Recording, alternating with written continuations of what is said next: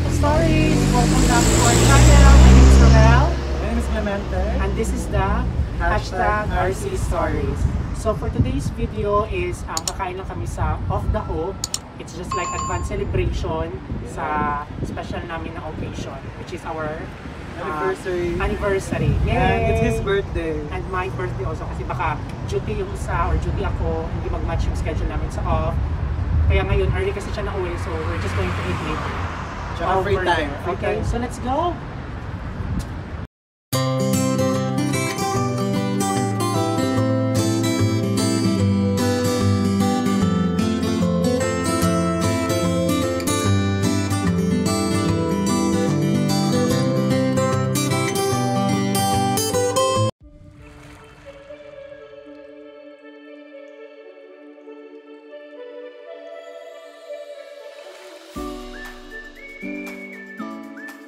Yes,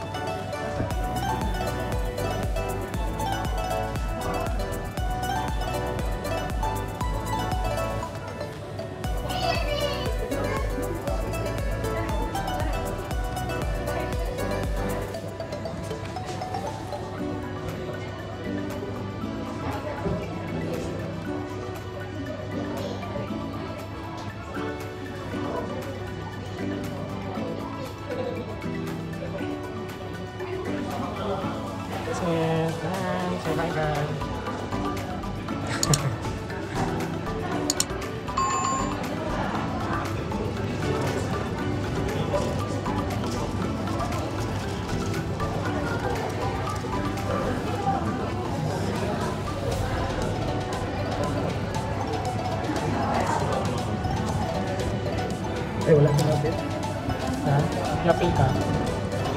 Uh, okay ba na? Hmm? Ay ka na ikatag.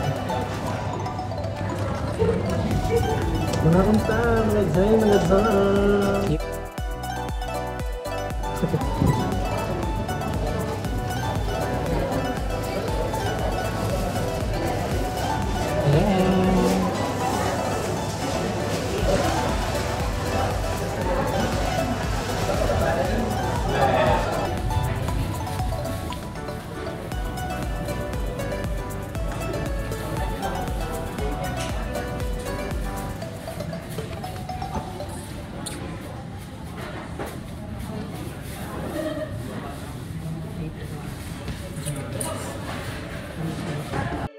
Sarap ng kain ni Beshi. Besh.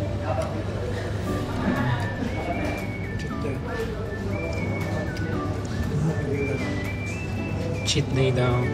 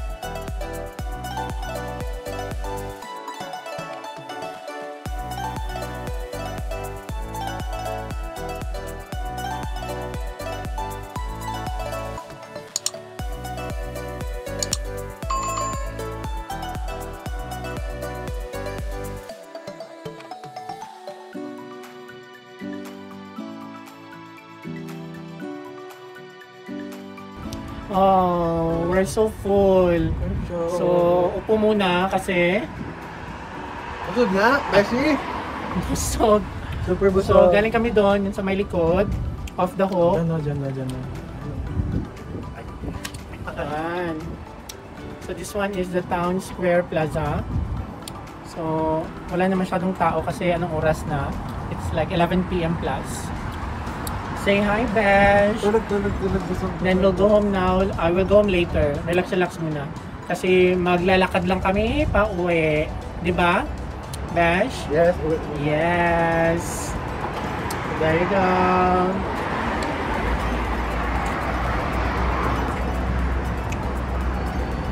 See? Napaka peaceful. peaceful kasi walang tao. Ah, ra. There you go. Anong masasabi mo sa kinain mo, Clems? Beshi? Okay, Ako, masasabi ko, syempre sulit. Napakabusog ko. Kasi only ang rice, only ang iced tea, ang daming So solid na yun, di ba? Good for, Oo. actually, ang binili namin is it's like good for 3 to 4 persons, right? Kasi So, ito, pang dalawang tao yung kain ko.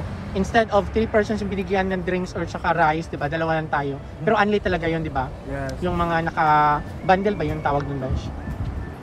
Bandog pa. So, dyan kami Bakit galing. siya? Sa off. That's it.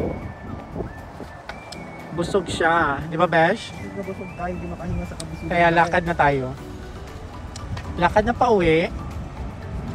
Kasi plastic.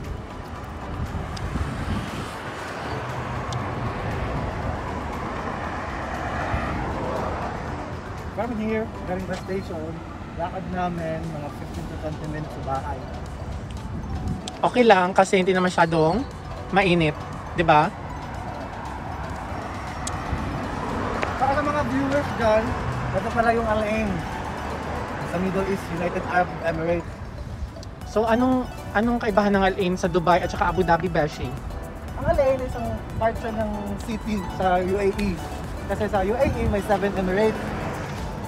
Dubai, Abu Dhabi, Al-Ain, Fujairah, Ras Al Khaimah, Sharjah. Hindi ko ma-mention ang 7 basta 7, 7 cities.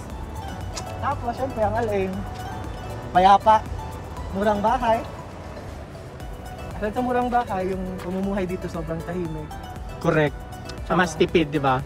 Oo. Compare sa Dubai, siyempre ako, nag-Dubai na ako, nag-Abu Dhabi na ako. Ngayon sa Al-Ain, balik ako dito, way back 2012, dito ako galing dati. Mapipili ko talaga yung alin sa payapa. Kaya- Plus tipid kasi Dubai and Abu Dhabi among the three like Al-Ain, Abu Dhabi, Dubai, Mhm. cost of living is so expensive, di ba? Especially sa Oo, sa tirahan. Especially sa Dubai. Mhm. yung tirahan, siyempre, na makakamura ka. Tsaka dito, minsan ka lang magbabiyahe. Kasi, mas pipiliin mong tumira na lang sa bahay. Correct. Kasi wala ka naman mapapasyalan. Probinsya ang pek. Walang masyadong mga temptations, di ba? Kaya hashtag probinsya ang pek sa Al-Ain. Pero peaceful, di ba? The backside naman dito, ito yung police station. What do you call this police station? Murabaa Police. Morabaa Police Station. Yan. Pero Yeah. ang ganda ng weather kaya maganda maglakad. Correct, hindi masyadong mainit ngayon. Hindi siya humid. Kasi dito ang weather sa uh, UAE, sa Middle East. Ano lang summer at saka winter. Correct. Yun, may nakita kami. Walking, walking. It's already 11.30 p.m. Correct. Oo. Pero Wala na naman kasing curfew, so kaya we decided to eat outside. Tapos mga 12 midnight din naman nag-close ang mga restaurant dito. Especially mo during weekend, during Thursday and Fridays. Ganon. Pero weekdays, like Saturday, Sunday, Monday, Tuesday, Wednesday, early sila magsasara like 10 p.m., 11 p.m., ganon. imagine, weekend ngayon pero walang tao. Walang katao-tao. Kasi dito sa akin, bahay-bahay lang ang peg. Mm-mm. For sure, mga kabayan dyan, nagiinom na kasi Thursday night. Ooh, yagat. Kaso bawal. Bawal minsan. Or hindi ka masyado makakabili agad-agad ng alak. Right? Okay, so see you! Kapag darating na kami sa bahay. So walking na kami. Walkathon. Going home, it's like mga 5 to 10 minutes more. bago kami makarating sa New Kuwaitat. Sa area namin, sa bahay namin. Okay, let's go!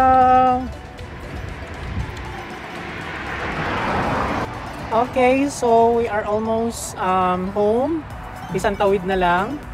Malapit na sa mga 3 minutes na lang. So, I guess this will end our video. So, by the way, at the back is Isla Grand Hotel yan. Tingnan mo, napakaganda, di ba?